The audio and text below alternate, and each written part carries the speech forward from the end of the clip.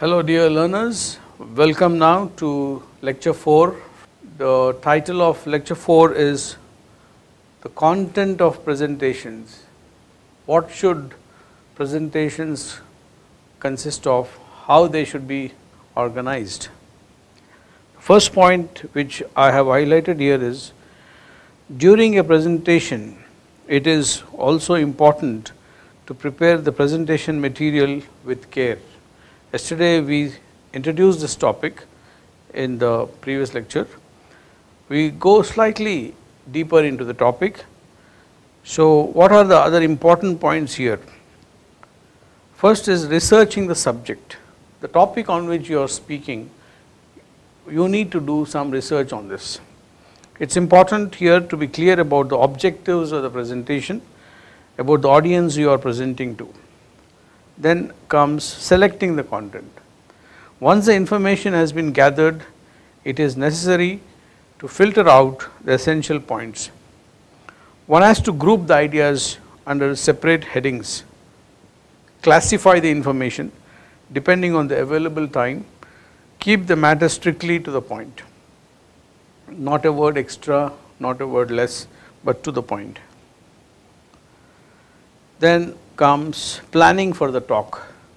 To get the message effectively across, one has to carefully draw out a presentation layout or what we call as a presentation plan. A well planned presentation is always a well received one. The beginning of a presentation, the next subtopic. During a presentation, one is always sure of the first few minutes of the audience's attention, what we normally call as attention span. So what we have to cash on this very fertile time when the attention of your audience is at a high point. One therefore has to be careful about the beginning. Make an impression that will hold the attention of the people one can always start with a good quotation. All that glitters is not gold, something like that. A rose by any name smells as sweet. Sweet are the uses of adversity. We have heard enough of engineering.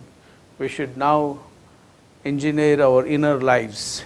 These are some of the popular quotations that that will enable you to catch the attention of the audience. It should be a question. Which is the recent thing that you lost and that has upset you? You can begin like a question. What was the most hilarious moment? What was the most hilarious moment you experienced off late in the last one week? So immediately you are sure of the attention. You can also start with a dialogue or even an anecdote by anecdote, I mean an incident that where you were a participant that you experienced. Or you can tell a popular parable or a fable or a story. Some people prefer to start their presentation with a joke, an unusual definition or a startling statement or statistics also can be very effective. Some people begin with statistics and catch the attention they give startling statistics. They crack a wonderful joke which actually encapsulates what is happening in the present times. These are the different ways.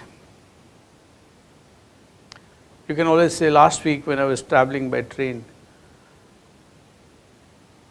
people were talking about weather and there was this person who didn't know what to say about the weather. So some incident, some episode you can begin with. Then coming to the middle of the presentation, after making an impressive beginning, one has to be able to deliver the contents effectively.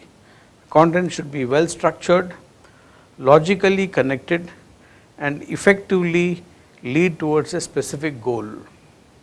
To sustain the interest of the audience, it is important here to ex include examples and personal experiences which will make the material more authentic and interesting. Like in the beginning, to reinforce the value of your middle part of your presentation, you can here also you can bring in some vital experiences which you went through. And then structurally you come to the end. The way a presentation ends is again very important. Primarily this is what the audience will remember the presentation as. How you end your presentation is normally carried back by the audience to their respective places. It is important therefore to give a presentation the right emphatic conclusion that will make a lasting impact on the listeners. For instance, you can always say, nothing is permanent in this world except change.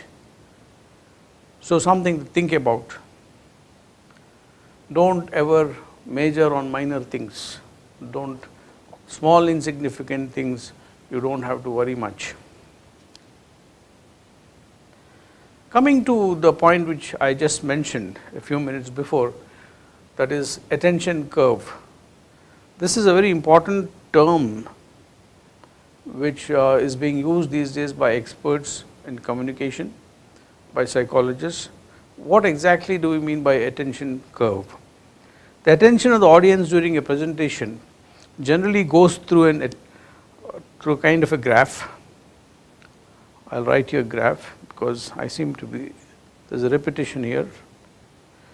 It starts on a high, the attention drops a little first and drops more steeply later. It rises again towards the end and further up for the last few minutes. When they get through your signpost, when the audience knows that you are concluding, their attention increases. In between, they have a tendency to become lax. Some of the ways the audience can be kept interested have been listed here. So, if you know the psychology behind audience, the attention graph, you will also bring in interesting things when you suspect that their attention is dropping. One, look into the points where the attention curve drops and consider ways of varying the texture. By texture we mean quality of a matter. If your presentation has been largely speech, bring in an audio visual slide or have an interactive session that will ensure participation. You can involve the audience in a question answer session. You can elicit comments on a particular statement that you have made. Keep the sections short and ensure that every section ends on a high. Get the audience involved, decide what you want them to remember and stress on it.